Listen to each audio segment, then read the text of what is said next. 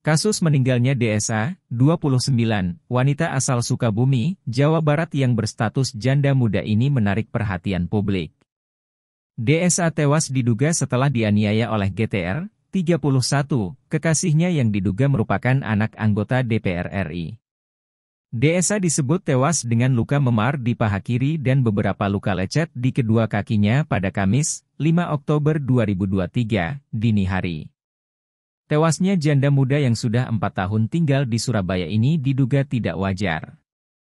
Informasi yang dihimpun wartawan Surya, Co. ID, sebelum ditemukan tewas di apartemen, Desa sempat karaoke di Black Hole KTV Club, Landmark Mall. Saat itu dia bersama tujuh teman dan pacarnya, GTR bernyanyi-nyanyi di room VIP. Saat semuanya dalam kondisi mabuk, Desa dan GTR malah bertengkar. Tak lama, teman-temannya pergi meninggalkan desa dan GTR di lokasi. Ternyata setelah ditinggal berdua pertengkaran tidak mereda. Cekcok malah berlanjut di parkiran mobil.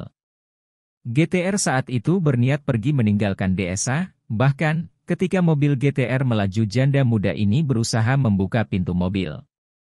Akibatnya dia terseret di jalan. Setelah Andini terjatuh, GTR menghentikan laju mobilnya. DSA dimasukkan ke dalam bagasi, lalu diantar ke apartemen di kawasan Pakuwon. Di sana Andini mengalami sesak nafas. Gerer lalu mengantarkan Andini ke National Hospital. Baru sampai di rumah sakit nyawa Andini melayang.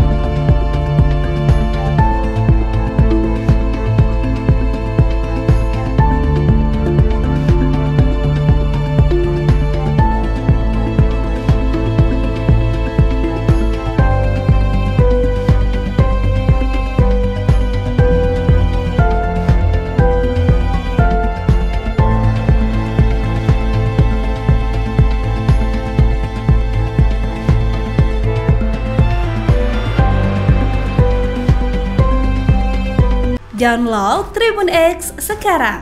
Menghadirkan lokal menjadi Indonesia.